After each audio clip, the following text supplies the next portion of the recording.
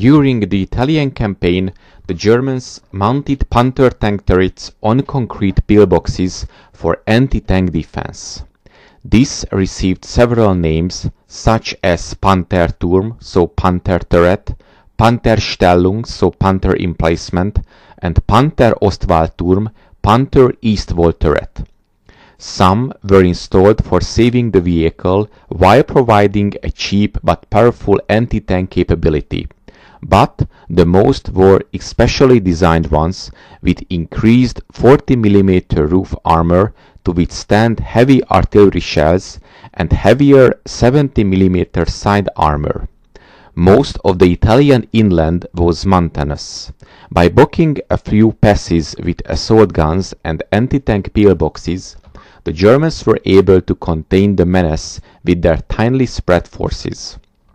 Although the majority of this Panther Ostwallturm saw employment in the east, in the effort of building strong German defensive positions along a line going from Narva to the Crimea. As war progressed, many German cities like Berlin were named fortresses and Panther turrets were used to strengthen these improvised positions. The turrets, with their low profile, resulted quite impressive to Allied commanders. Traverse is done by hand only, and no power is supplied. Access to the turret is either by access doors in the turret itself or from underneath an armored box by means of steel ladder communicating with a deep dugout.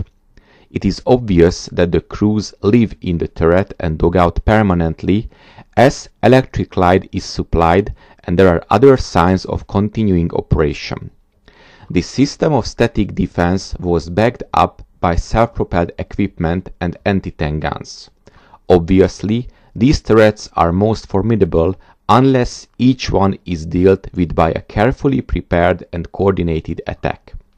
The turrets are almost invincible, still they fire and when located there is very little to shoot at and it will not be penetrated either by 75 mm or 6 pounder guns. In all cases where there was enough of the turrets left to diagnose the method of destruction, penetration of the turret side had been effected. One Churchill tank crew who destroyed one with their 6 pounder gun say that the turret blew up immediately it was hit. This was presumably due to the ammunition since a large quantity was stored. Thanks for watching, please subscribe and support my channel on Paypal.